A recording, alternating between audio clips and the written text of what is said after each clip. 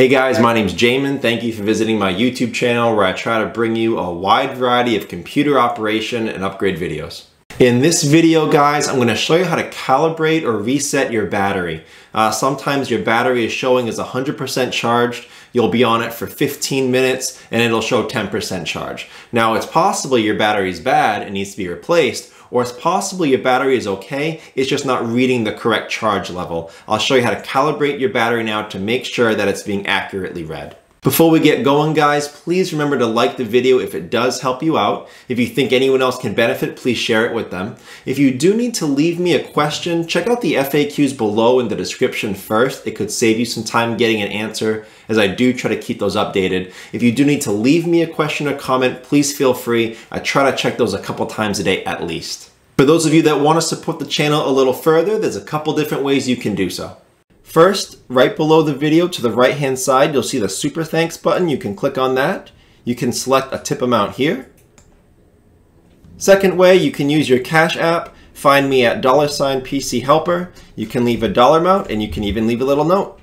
Okay, now that that's out of the way, let's get into the project. Okay guys, so the fastest, easiest method perhaps we're gonna have you try first, we're gonna come down here bottom left to your search bar, type in Device Manager. Uh, best option is up here, Device Manager under Control Panel. We'll left click on that.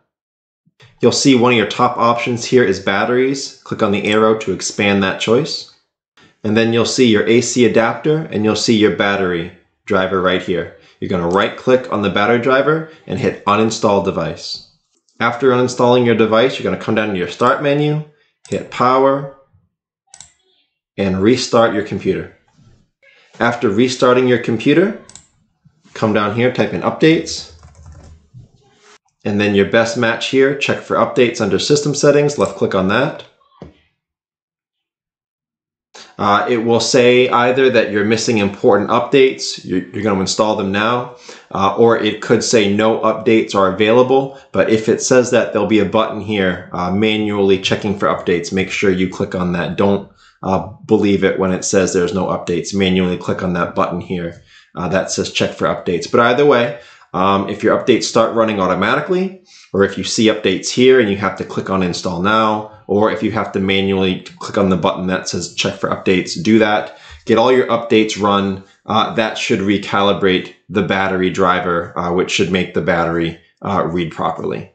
If that doesn't get your battery life a little more accurate, we'll move on to another way, number two that I'm going to show you today, uh, to recalibrate your battery so it reads accurately. We're going to come down here to the bottom left search bar again. We're going to type in control panel. Best match comes up here. The control panel app, we're going to left click on it. You're going to see hardware and sound, left click on it. And then you're going to see power options. We'll left click on that. Over here, you'll hit change plan settings.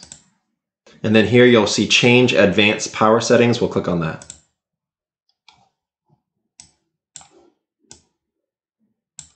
After this window comes up, you're going to scroll down until you see the battery option. Hit the plus sign to expand the battery options. We're going to change a few things here. Uh, here, first of all, it'll say low battery action. We're going to hit the plus button to expand that. Here you see on battery and plugged in. Right now it's selected do nothing. Click on the blue wording and a drop down menu will appear. Click on that drop down menu and it has sleep, hibernate, do nothing, shut down. We're going to set it to hibernate. And we're going to do the same to plugged in. We're going to click on it, drop down, select to hibernate. So that's what you're doing under low battery action. We're setting on battery and plugged in both to hibernate. So just so it's easier to watch on the tutorial guides, I'm going to hit the minus sign now, bring that back up, keep this clean so you can see what we're doing. The next thing we're going to go for is the low battery level. We're going to hit the plus sign to expand that.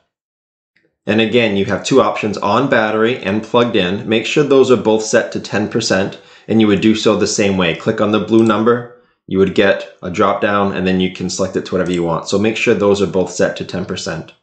When you're done that, we'll go ahead, we'll minus this, keep this clean again.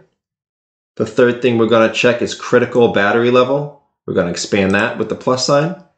Right now, on battery and plugged in are both reading 5%. So that's what you would want to change yours to 5% for on battery and plugged in. After doing all those, you would hit apply. And then after applying it, you would hit OK. Now that way your computer is going to stay on while you use it. Um, it'll drain the battery down and then hopefully again after the battery is drained, uh, you would recharge the battery fully. That would recalibrate it, resetting it, making it so that you can read correctly your battery level. The third and final way that I'll show you how to do this on this video, uh, we'll come back here to where we were earlier.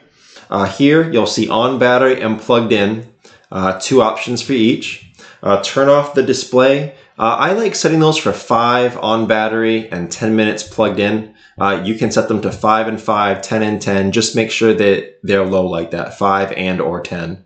As far as the option put the computer to sleep, you can set these both to 10 or 15.